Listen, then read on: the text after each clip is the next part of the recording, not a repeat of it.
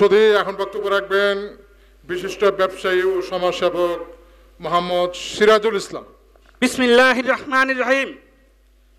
কবি শাহজাহান আবদালি এবং তার বক্তৃতা প্রশিক্ষণ কেন্দ্রের কেন্দ্র শীর্ষক আলোচনা সভার শ্রদ্ধেয় সভাপতি, বাংলাদেশের বহুল প্রচলিত দৈনিক যুগান্তরের চিফ রিপোর্টার মাসুদ করিম, মঞ্চে ভূমিষ্ঠ মাননীয় প্রধান অতিথি স্বাধীন বাংলা বেতার কেন্দ্রের শব্দ সৈনিক এবং ঢাকা বিশ্ববিদ্যালয়ের অধ্যাপক, নিরঞ্জন অধিকারী, মঞ্চে আরও উপবিষ্ট সম্মানিত বিশেষ অতিথিবৃন্দ, আলোচক বৃন্দ এবং মঞ্চের সামনে উপবিষ্ট সম্মানিত দর্শক মন্ডল সবাইকে আমার শুভেচ্ছা অভিনন্দন।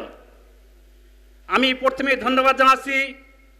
এই অনুষ্ঠানের আয়োজক কমিটির সকল সদস্যদেরকে এমন একটি চমৎকার অনুষ্ঠান কবি জসিমুদ্দিনের পল্লী পরিবেশে আয়োজন করার জন্য সম্মানিত সুধীমণ্ডলী,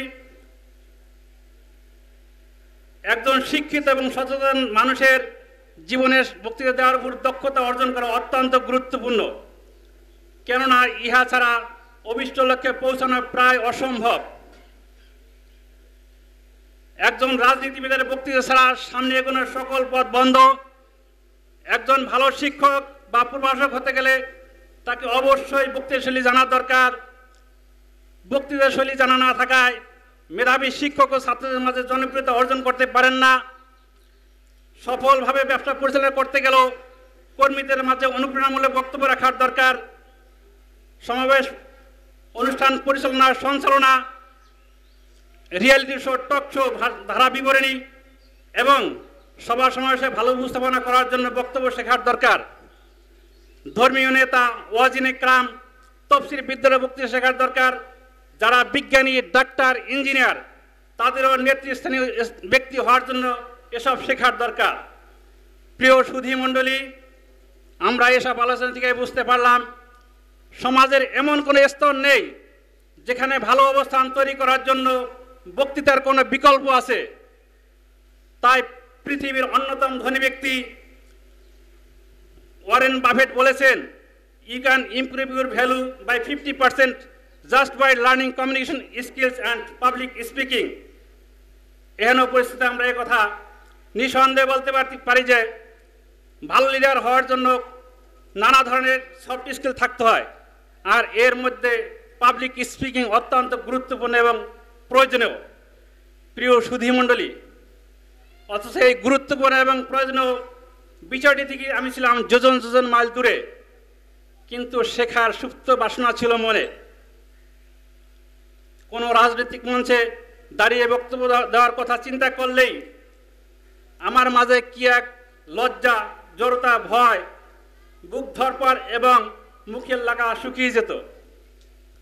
ফলে কেউ কোনো কোথাও বক্তব্য দেওয়ার অনুরোধ করলে আমি সুকৌল কৌশলে এড়িয়ে দিতাম যেখানে কোনোভাবেই এড়ানো সম্ভব হতো না, মঞ্চে দাঁড়াতেই হতো, অবশেষে লজ্জার গ্লানি নিয়ে ফিরে আসতাম।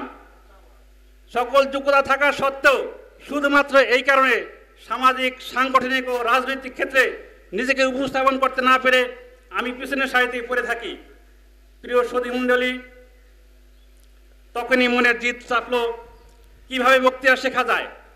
তখন থেকে আমি অন্তকরণে কোনো বক্তৃতা প্রশিক্ষণ কেন্দ্রকে খুঁজতেছিলাম, কিন্তু পাচ্ছিলাম না।